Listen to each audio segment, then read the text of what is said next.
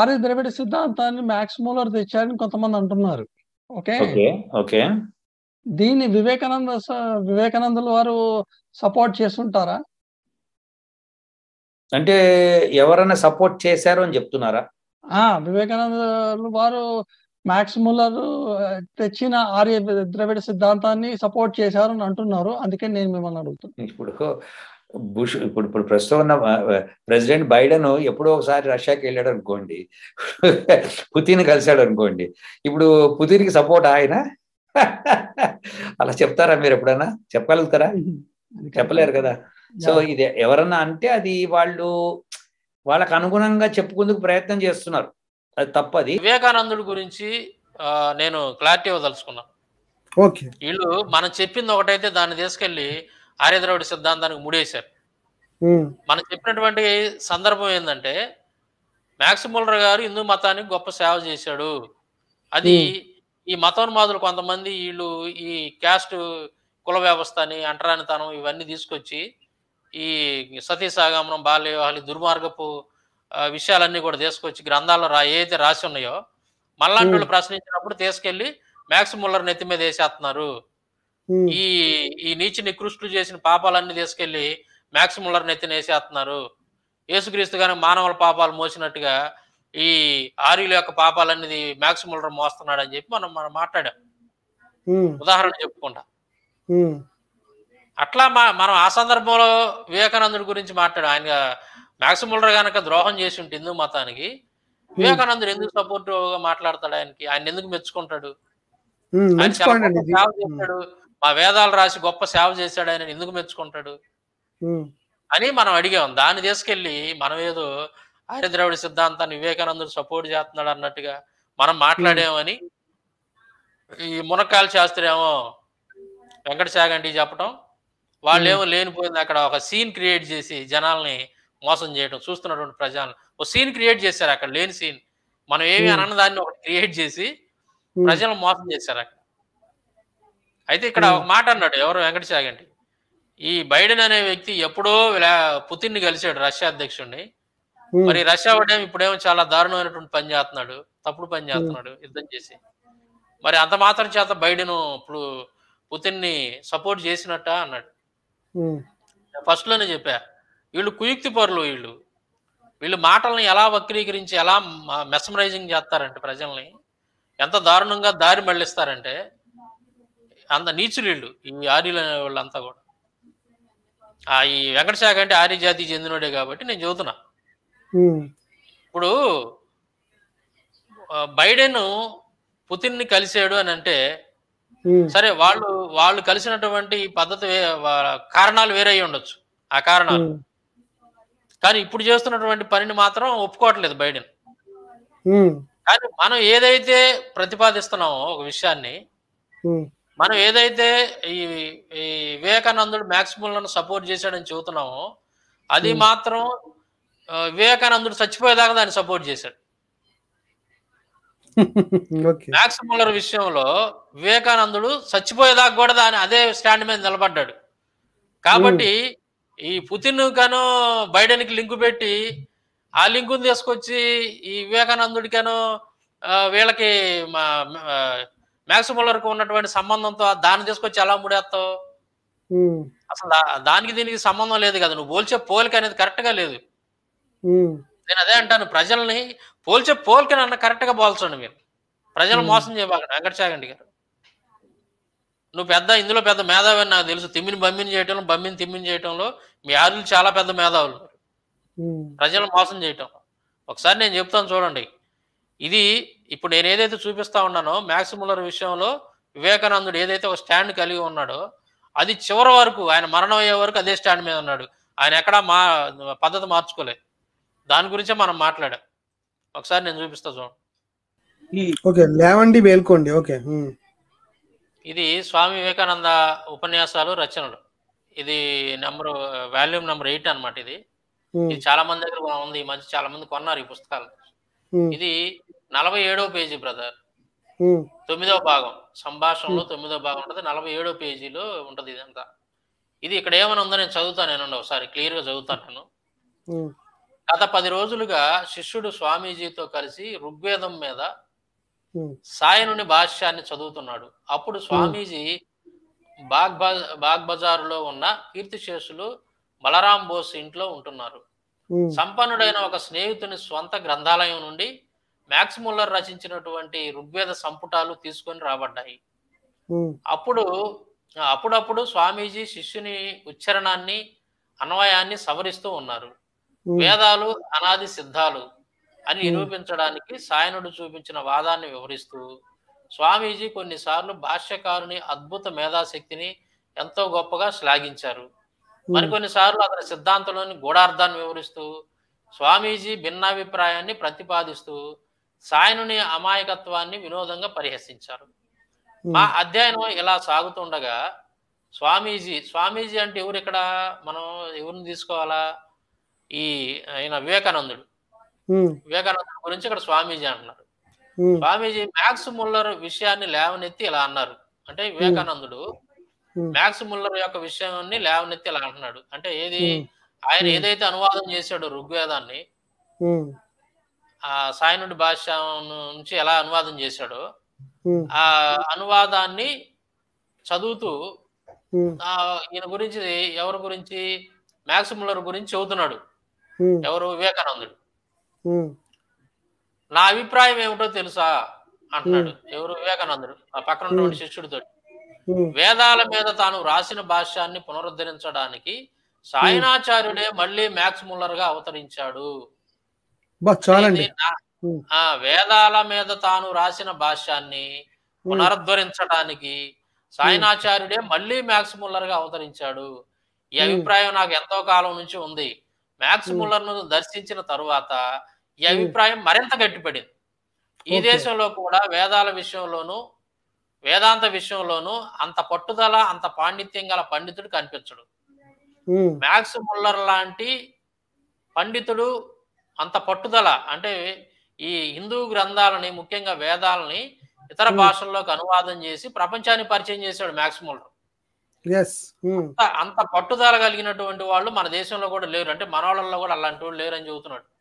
ఉమ్, ఆ, అ- అంతేగాక రామకృష్ణుడి మీద ఆయనకున్న గౌరవం ఎంత గాఢం ఎంత అగాధం. భగవంతుని అవతారంలో ఆయనకు విశ్వాసం ఉందని నీకు తెలుసా?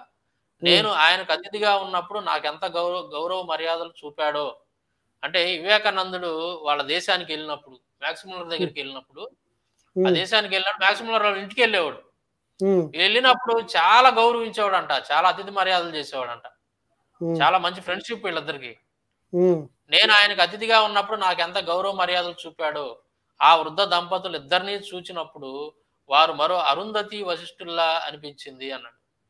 అంటే మ్యాక్సిమం అతని భార్యని ఎవరితో పోల్చాడు?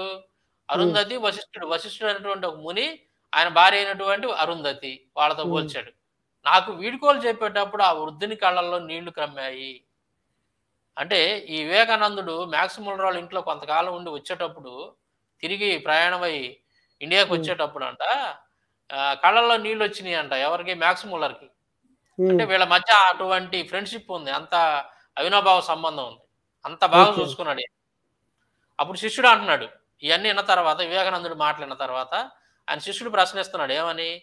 అయితే మహాశయ సాయనుడు మ్యాక్స్ ముల్లర్గా పుడితే ఆయన. ఈ పవిత్ర దేశంలోనే జన్మించకుండా మ్లేచ్చుడుగా ఎందుకు పుట్టాడు? అంటున్నాడు. Hmm. మ్లేచ్చుడు అంటే ఇతర దేశాల్లో ఎందుకు పుట్టాడు ఆయన? మన ఇండియాలో పుట్టాలి కదా? అన్నాడు అప్పుడు. వివేకానందుడు చెబుతున్నాడు నేను ఆర్యుణ్ణి ఇతడు మ్లేచ్చుడు అనే భావం అజ్ఞానం నుండి కలుగుతుంది. వేదాలకు భాష్యం రాసి జ్ఞాన Hmm. తేజం లాగా వెలుగుతున్న ఆ మహనీయునికి కుల భేదాలు ఏమిటి అంటున్నాడు. అవి Hmm. అర్ధరహితాలు మానవ Hmm. జాతికి మేలు చేయటానికి ఆయన ఇచ్చ వచ్చిన చోట మానవాకృతి ధరింపవచ్చు అంటున్నాడు. అంటే ప్రజలకు మేలు చేయటానికి సాయనాచార్యుడు మన ఇండియాలోనే కాదు ఆయన ఇష్టం వచ్చిన చోట రూపాన్ని అంటే జన్మెత్తవచ్చు అని చెబుతున్నాడు. ముఖ్యంగా సంపదలోను జ్ఞానంలోను వన్నెకెక్కిన ఆ దేశంలో పుట్టకపోతే ఇంతటి బృహత్తరమైన సంపుటాలను ప్రచురించడానికి తగిన డబ్బును ఆయన ఎక్కడి నుండి సంపాదించగలడు? ఈ మాట చాలా. వాల్యుబుల్ అన్నమాట. ఉమ్, ఈయన కనుక ఇండియాలో పుట్టుంటే ఒరే బాబు ఇవన్నీ ఇంత అనువాదాలు ఇన్ని సంపుటాలు ఇలా ముద్రించి ఉండేవాడు కాదు. ఇండియాలో ఎందుకు. ఇండియాలో ఈ డబ్బులు ఖర్చు పెట్టరుగా ఇన్ని డబ్బులు ఖర్చు పెట్టేటట్టు వాళ్ళకి ఇంత. ఇంట్రెస్ట్ ఉండదు కదా? అది చెబుతున్నాడు ఇక్కడ. ఋగ్వేదాన్ని ప్రచురించడానికి ఈస్ట్ ఇండియా కంపెనీ తొమ్మిది లక్షల రూపాయలు ఇతనికి ఇచ్చిందంటయ్యా ఆ. కాలంలో. ఋగ్వేదాన్ని ప్రచురించడానికి అంటే ఈస్ట్ ఇండియా కంపెనీ వాళ్ళు తొమ్మిది లక్షల రూపాయలు అతనికి ఇచ్చి ఇచ్చిందని నీవు వినలేదా? ఆ. డబ్బు కూడా చాలలేదు. ఆ డబ్బులు కూడా సరిపోలేదంట. తొమ్మిది లక్షలు కూడా చాలలేదంట. నెలసరి ఉపకార వేతనం మీద మన దేశంలోని వందల కొద్ది వైదిక పండితుల్ని నియమించాల్సి వచ్చింది. జ్ఞానం కోసం అటువంటి అమోఘమైన తృష్ణ విద్యకు తేజస్సుకు అంత విస్తారంగా డబ్బు వెచ్చించగలిగిన వారు ఎవరైనా ఈ దేశంలో ఈ యుగంలో కనిపిస్తున్నారా అన్నాడు అసలు ఎంత ఎట్ట పొగుడుతున్నాడో చూడండి మ్యాక్సిమల్ ఎవరు వివేకానందుడు. ఈ పనికి మాలిన వెంకట శాఖ అంటే ఏమో బైడెన్ కను పులితిన్కి ఉన్న వాళ్ళ వాళ్ళని తెచ్చి వాళ్ళిద్దరిని తెచ్చి వీళ్ళిద్దరికి పోలుస్తాడు ఏంటి బుద్ధి ఉందా లేదా ఈ- రోజుతో ఈ రోజుతోని మీరు వాళ్ళ పొరలన్నీ తీస్తారు బ్రదర్. సాంసరావు బ్రదర్. ఎందుకంటే చెప్పండి చెప్పండి చదవండి చదవండి చదవండి. మీరు చెప్పండి. అదే అదే అంటే వాళ్ళు ఎంతవరకు ఏమన్నారంటే మ్యాక్సిమం ఉన్నారంట బ్రిటిష్ వాళ్ళతో కలిసిపోయి వాళ్ళు తొత్తుగా మారిపోయి వేదాలని రాంగ్గా తర్జుమా చేసాడట ట్రాన్స్లేట్ చేసాడట ఇక కర్ణాకర్ గారు అదే మాట అండం మిగతా వాళ్ళు ఈ వెంకట చాగంటి ఈ డాక్టర్ వీళ్ళందరూ మరి కోడై కూస్తున్నారండి. ఇదే పదం. ఏంటంటే ఈ బ్రిటిష్ వాళ్ళు మాక్సిమం లో ఒకటైపోయి మా వేదాలను సరిగ్గా తర్జుమా చేయలేదని. ఈ ఈ డాక్టర్ గారు ఏం చేశారంటే తర్జుమా చేయడం మొదలు పెట్టి తర్జుమా చేసి పడేశారండి. మీకు అర్థమైందా? ఈ రోజుతోని మీరు ఈ ఈ చూపించి ఇది ఈ ఇది ఈ పాయింట్ మీరు చూపించి మొత్తం వాళ్ళ అజ్ఞానులు అని ప్రూవ్ చేశారు బ్రదర్. ఇక్కడ చూడండి ఈ పాయింట్ మళ్ళీ చదువుతున్నా జ్ఞానం కోసం అటువంటి అమోఘమైన తృష్ణ అంటే అటువంటి గట్టి పట్టుదల కోరిక విద్యకు తేజస్సుకు అంత విస్తారంగా డబ్బు వెచ్చించగలిగిన వారు ఎవరైనా ఈ దేశంలో అంటే ఇండియాలో ఈ యుగంలో అంటే ఈ కాలంలో కనిపిస్తున్నారా? తన. ఉపోద్ఘాతంతో ఉపోద్ఘాతంలో మ్యాక్స్. ముల్లరే వేద సుపరిష్కృత ముద్రణానికి ఇరవై ఐదు సంవత్సరాలు వ్రాతప్రతులు తయారు చేశాడని చేశానని రాశాడు ఇరవై ఐదు సంవత్సరాలు పరిశోధన చేశాడండి ఈయన. ఈ రూపేదాన్ని అనువాదం చేయడానికి ఒక సంవత్సరం కాదు రెండు సంవత్సరాలు కాదు ఎన్ని సంవత్సరాలు? ఇరవై ఐదు సంవత్సరాలు పరిశోధన చేశాడంట. అచ్చు వేయడానికి మరో ఇరవై సంవత్సరాలు పట్టింది అబ్బా. మొత్తం నలభై ఐదు సంవత్సరాలు. ఈ ఒక్క ప్రచురణ కోసమే నలభై ఐదు సంవత్సరాలు శ్రమించడం సామాన్య మానవునికి సాధ్యమా? ఇప్పుడు ఈ అసలు ఈ అన్ని ఇట్లాంటి పుస్తకాలన్నా చదివితే ఈ అదోలు బుద్ధి వచ్చిద్దాం అనుకుంటాను. కనీసం వాళ్ళ చరిత్ర అన్నా వాళ్ళ గ్రంథాల చరిత్ర తెలుసుకొని వచ్చి మాట్లాడితే పద్ధతిగా ఉంటుంది. అదే లేవండి లేవండి మేలుకోండి. దయచేసి మరి మీరు డాక్టర్ గారు కానివ్వండి వెంకట చాగంటి గారు కానీ దయచేసి ఈ పుస్తకాన్ని తెప్పించుకొని చదవండి. లేవండి మేలుకోండి అనే వివేకానంద గారి పుస్తకాలు మనకు దొరుకుతాయి. మరి అవి తెచ్చుకొని చదివితే మీకు బుర్ర వెలుగుతుంది లైట్ వెలుగుతుంది. లేకపోతే అజ్ఞానంలో మీరు ఉంటారు.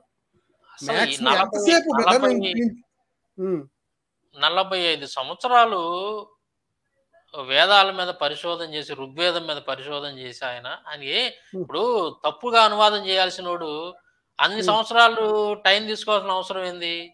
అంత డబ్బు ఖర్చు పెట్టాల్సిన అవసరం ఏంది? పైగా ఇండియన్ కాదు. ఇండియన్ కాదు విచిత్రం అది. ఇండియన్ కాదు. ఇండియన్ కాదు. మళ్ళీ. అతనికి ఉన్నటువంటి ఆసక్తి. హిందూ గ్రంథాలని ప్రపంచానికి పరిచయం చేయాలి ఇతర భాషల్లోకి అనువాదం చేసి అని చెప్పేసి ఆయన అంత కృషి చేస్తే ఈ దరిద్రులు మనం ఏదన్నా రే ఏందిరా మీ గ్రంథంలో ఈ అంటరానితనం ఏందిరా అంటే ఇది మ్యాక్సిమల్ అనువాదం చేశాను అంటే దాంట్లో ఏందిరా ఆ భార్య చనిపో భర్త చనిపోతే భార్యను కూడా తగల పెడుతున్నారు అని ఉంది. మీ గ్రంథంలో ఏందిరా ఇలా ఉంది మీ దేవుడు చెప్పాడంటే "ఐ, అది మ్యాక్సిమల్ అనువాదం చేశాడు అది. అది మా మా సంబంధం లేదు. అరే బాల్య బాల్య వివాహాలు ఏందిరా చిన్నపిల్లల్ని పెళ్ళి చేసుకోవాలంటే పుట్టినప్పుడే పెళ్ళి చేయాలని ఉంది. ఏందిరా ఇది మీ గ్రంథం ఎలా ఉందంటే ఏ ఇవన్నీ మ్యాక్సిమల్ అంటే నేను అదే అంటుంది.